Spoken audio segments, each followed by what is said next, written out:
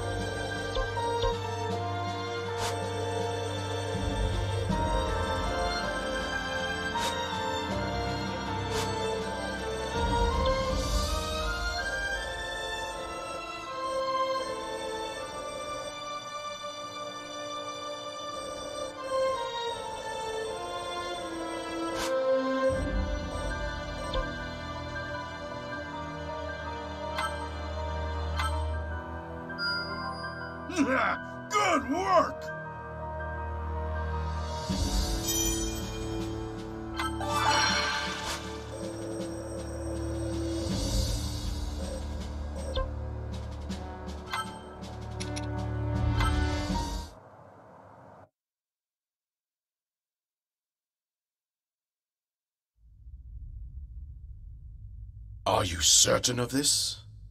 Yes. Zelda's next birthday will mark the date of Calamity Ganon's return. Yes. That is what the images we recovered indicate, at least. Time has run out, then. Zelda, you and the knights will travel to the Spring of Courage. No matter what it takes, you must awaken your power before the Calamity returns.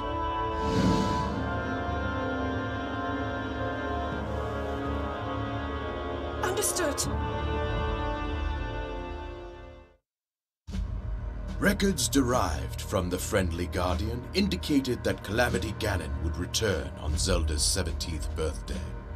Desperate to preempt this grim future, King Rhoam ordered his daughter to train at the Spring of Courage. The king, Princess Zelda, and every living being in Hyrule could sense the thunderous footsteps of a looming scourge.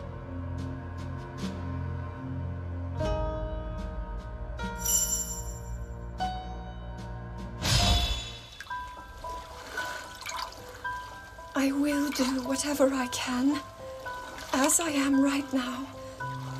Even if all I have to give is my faith that things will work out. This is the thread that I've been following all this time. Even so, all of the research into the relics, if I cannot awaken to my power, will have been in vain. Everyone else is carrying out their duties with such grace.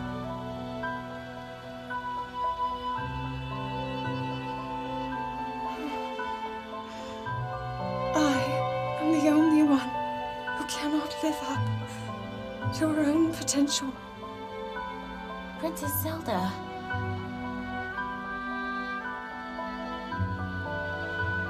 Why not?